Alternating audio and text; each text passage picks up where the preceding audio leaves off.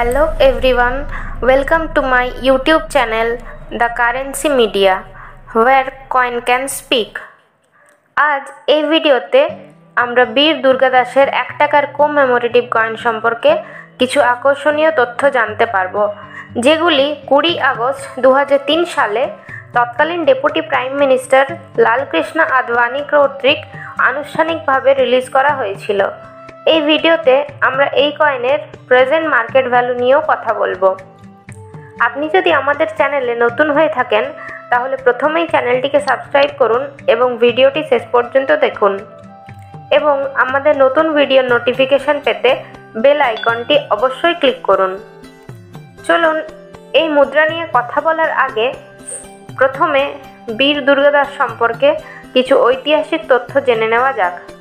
বীর দুর্গাদাসের আসল নাম দুর্গাদাস রাঠোর তার জন্ম তেরোই আগস্ট ষোলোশো সাল এবং মৃত্যু বাইশে নভেম্বর সতেরোশো আঠেরো। দুর্গাদাস ছিলেন মারওয়ারের শাসক যশবন্ত সিংয়ের রাজপুত মন্ত্রী আশকারণ রাঠোরের ছেলে। সতেরোশো শতকে মহারাজা যশবন্ত সিংয়ের মৃত্যুর পর ভারতের মারওয়ারের ওপর রাঠোরের রাজবংশের শাসন রক্ষা করার দায়িত্ব তাকে দেওয়া হয় এবং তা করতে গিয়ে তিনি মুঘল সম্রাট ঔরঙ্গজেবের সম্মুখীন হন। তিনি ষোলোশো উনআশি সাল থেকে সতেরোশো সাত পর্যন্ত রাজপুত যুদ্ধের সময় রাঠোর বাহিনীর নেতৃত্ব দেন এবং সতেরোশো আট থেকে সতেরোশো দশ পর্যন্ত রাজপুত বিদ্রোহে প্রধান ভূমিকা পালন করেন, যা মুঘল সাম্রাজ্যের পতনের অন্যতম প্রধান কারণ হয়ে ওঠে। দুর্গাদাস রাঠোর আমাদের ভবিষ্যৎ প্রজন্মের জন্য সাহসিকতা, দেশপ্রেম, আত্মত্যাগ এবং আত্মনিবেদনের অনুপ্রেরণা এবং আদর্শ হয়ে থাকবেন। চলুন এখন এই কয়েনের বিশেষ বৈশিষ্ট্যগুলি এক ঝলকে দেখে নেওয়া যাক।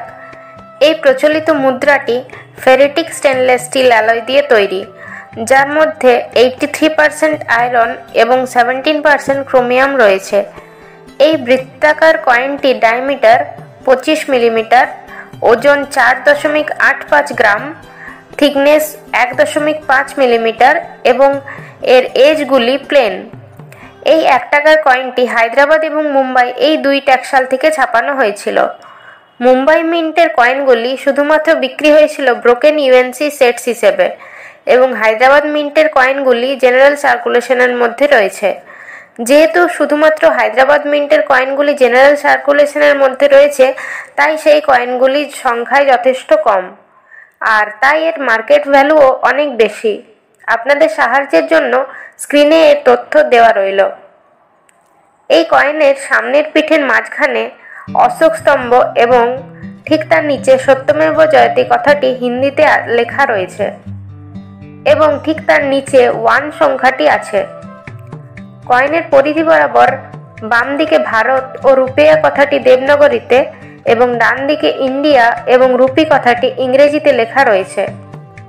কয়েনের বিপরীত পিঠের মাঝখানে রণসজ্জায় সজ্জিত বীর দুর্গাদাসের একটি প্রতিকৃতি দেখতে পাওয়া যায়, যার ডান হাতে একটি বর্ষা রয়েছে এবং যার ঠিক নিচে রয়েছে মিন্টেড ইয়ার টু আর তার নিচে রয়েছে একটি স্টার মার্ক, যা হায়দ্রাবাদ মিন্টকে ইন্ডিকেট করে। কয়েনের পরিধি বরাবর ওপর থেকে ডান দিকে বীর দুর্গাদাস কথাটি এবং জন্ম ও মৃত্যু বছরটি ইংরেজিতে এবং পরিধি বরাবর বাম দিকে বীর দুর্গাদাস কথাটি হিন্দিতে খোদাই করা রয়েছে। এখন এই মুদ্রাটির বর্তমান বাজার মূল্য সম্পর্কে কথা বলা যাক।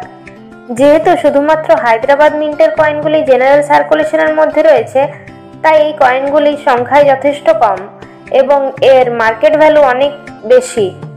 ভেরি ফাইন কন্ডিশনে এর বাজার মূল্য পঞ্চাশ টাকা পর্যন্ত হতে পারে এবং ইউএনসি কন্ডিশনে এর বাজার মূল্য দুশো টাকা পর্যন্ত হতে পারে। এবং যতদিন এগোবে, এর বাজার মূল্য আরও বাড়তে থাকবে। তাই বন্ধুরা, যখনই এই কয়েনের খোঁজ পাবেন, সাথে সাথে নিজেদের কালেকশনে এটিকে রেখে দেবেন। ফিউচারে একে বিক্রি করে আপনি অনেক টাকা উপার্জন করতে পারেন। বন্ধুরা, আপনাদের কাছে এই কয়েন সম্পর্কে যদি আরও কিছু তথ্য থেকে থাকে তাহলে অবশ্যই আমাদেরকে কমেন্ট বক্সে জানান। এবং এই তথ্যগুলি যদি ইম্পর্টেন্ট বলে মনে হয়, তবে অবশ্যই আপনাদের বন্ধু এবং আত্মীয়দের সঙ্গে শেয়ার করুন। আপনাদের সঙ্গে আবার দেখা হচ্ছে পরের কোনো নতুন ভিডিও নিয়ে। ততদিন পর্যন্ত সুস্থ থাকুন এবং আমাদের সঙ্গে থাকুন। ধন্যবাদ।